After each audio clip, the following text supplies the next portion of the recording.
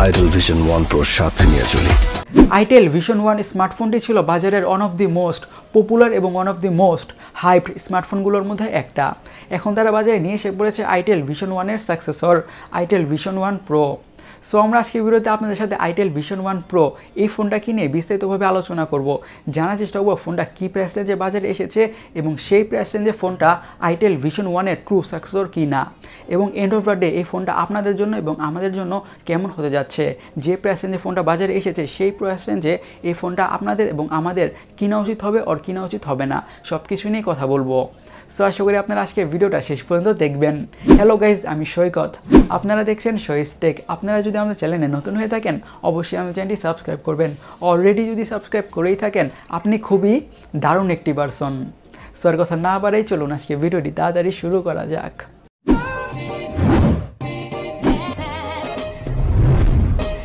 প্রথমে আমরা itel vision one প্রোর দামটা নিয়ে কথা বলি। ফোনটার প্রাইস রাখা হয়েছে সাত হাজার ছয়শো নব্বই টাকা। সো এই প্রাইস ফোনটা আমাদের জন্য কী কী অফার করছে? প্রথমে আমরা ডিজাইন আর বিল্ড করে নিয়ে কথা বলি।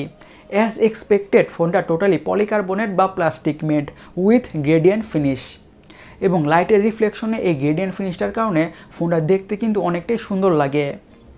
যদিও ফোনের ডিজাইনটা অনেকটাই কমন নাথিং স্পেশাল এই প্রাইস রেঞ্জে কিন্তু আমরা এমন ধরনের ডিজাইন আর বিল্ড কোয়ালিটি এক্সপেক্ট করি। এখন ডিসপ্লেতে আসা যাক। ডিসপ্লেতে থাকছে six point five ইঞ্চের HD plus IPS display with water drop notch এবং এই প্যানেলটা সিক্সটিন মিলিয়ন কালার সাপোর্টেড আচ্ছা যেহেতু প্যানেলটা এইচডি প্লাস তাই এই প্যানেলটিতে শার্পনেসের ঘাটতি অবশ্যই লক্ষ্য করা যাবেই। কিন্তু এই প্রাইস রেঞ্জে এইচডি প্লাস প্যানেলটা বা সেভেন টোয়েন্টি পি প্যানেলটাই কিন্তু এক্সপেক্টেড এই প্রাইস রেঞ্জে কিন্তু আমরা ফুল এইচডি প্লাস প্যানেল এক্সপেক্টও করতে পারি না রাইট ডিসপ্লেটিতে যে কোনো কন্টেন্ট মিনিমাম ডিস্টেন্স থেকে ওয়াচ করলে মোটামুটি ভালোভাবেই ওয়াচ করা যাবে। বেশি একটা সমস্যা হওয়ার কথা নয়। এখন ফোনটার র্যাম আর স্টোরেজ ভেরিয়েন্সে আসা যাক। ফোনটা জাস্ট একটা ভেরিয়েন্টেই পাওয়া যাবে।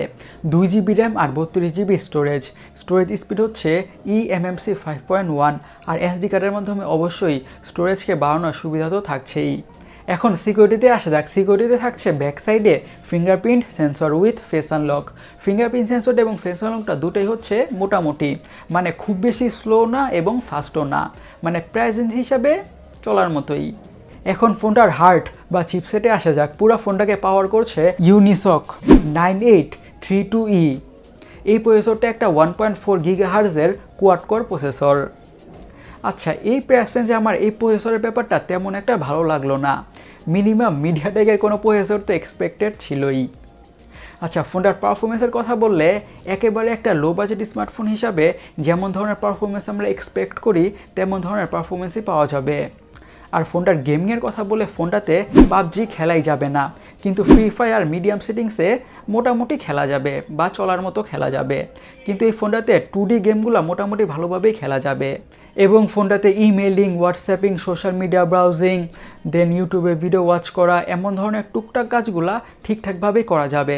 বাট ফোনটাকে একটু হেভি ইউজ করতে গেলে ফোনটা থেকে অনেক বেশি ল্যাগ এবং হ্যাংয়ের দেখা পেতে হবে ইটস ফর শিওর আর ফোনটাকে কিন্তু হেভি ইউজার্সদের টার্গেট করে বানানো হয় নাই। একেবারে লাইট ইউজারদের জন্য এই ফোনটি। কিন্তু টু বি অনেস্ট এই ফোনের প্রসেসরের ব্যাপারটি আমার তেমন একটা ভালো লাগল না। আইটেল ভিশন ওয়ানের তুলনায় প্রসেসর দিক থেকে কোনো আপগ্রেডই থাকছে না। কেন আইটেল এমন করল? আই হ্যাভ নো আইডিয়া আইটেলের অবশ্যই উচিত ছিল কিছুটা বেটার প্রসেসর হলেও ইউজ করা। এখন ফোনটার সফটওয়্যারে আসে যাক।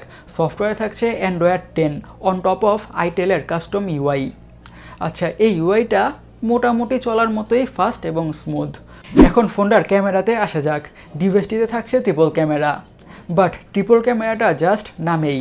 কারণ ফোনটাতে থাকছে এইট মেগাপিক্সেলের প্রাইমারি সেন্সর একটা কিউভিজিএ ক্যামেরা আর একটা কিউভিজিএ ক্যামেরা এবং ফোনটা থাকছে পাঁচ মেগাপিক্সেলের সেলফি ক্যামেরা বলতে গেলে এই ফোনটাতে থাকছে জাস্ট একটা ক্যামেরাই মানে এইট মেগাপিক্সেলের প্রাইমারি সেন্সরটা আর বাকি দুইটা কিউভিজে ক্যামেরা হচ্ছে পুরাই ইউজলেস কোনো কামেরই না, একেবারে হুদাই দিছে। আচ্ছা এবং ভিডিও রেকর্ডিংয়ের কথা বলে ফোনটা দিয়ে ফোর কেতে না নট ফোর কে ফোনটা দিয়ে ওয়ান জিরো এইট জিরো পিক্সেলে থার্টি এফপিএসে ভিডিও শ্যুট করা যাবে। এখন ফোনটার ব্যাটারিতে আসা যাক, পুরো ফোনটাকে ব্যাকআপ দিচ্ছে চার হাজার এমএএচের হিউজ ব্যাটারি আচ্ছা এত লো পাওয়ার হাঙ্গরি প্রসেসরের সাথে চার হাজার এমএএচ এর ব্যাটারিকে কম্বাইন করে ফোনটা থেকে লো টু মিডিয়াম ইউজেজে দুই দিনের ব্যাটারি ব্যাকআপ খুব ইজিলি পাওয়া যাবে। এই ফোনটার ব্যাটারির ব্যাপারটাই একটা ইউএসপি বা ইউনিক সেলিং পয়েন্ট হতে যাচ্ছে। আচ্ছা গাইজ আপনাদের আইটেল ভিশন ওয়ান প্রো এই ফোনটা কেমন লেগেছে? অবশ্যই আমাদের কমেন্ট বক্সে কমেন্ট করে জানাবেন। আমার কাছে আইটেল ভিশন ওয়ানের তুলনায় আইটেল ভিশন ওয়ান প্রোটা তেমন একটা ভালো লাগে নাই বা তেমন একটা ইমপ্রেসিভ লাগে নাই। পুরাই অ্যাভারেজ এখন আপনারা এই ফোনটা কিনবেন অর কিনবেন না ডিসিশন সম্পূর্ণ আপনাদের অ্যাজ অলওয়েজের মতন। গাইজ আজকের ভিডিওটা এই পর্যন্তই। এই ভিডিওটা যদি আপনাদের ভালো লেগে থাকে, অবশ্যই ভিডিও দেখতে লাইক দিবেন। যদি ভালো না লেগে থাকে, অবশ্যই আমাদের কমেন্ট বক্সে কমেন্ট করে জানাবেন কেন আমাদের ভিডিওটা আপনাদের ভালো লাগে নাই। আপনাদের সাথে পরের কোনো ইন্টারেস্টিং টেক রেডের ভিডিওতে কথা হবে। আপনারা সবাই ভালো থাকুন, সুস্থ থাকুন। আল্লাহ হাফেজ।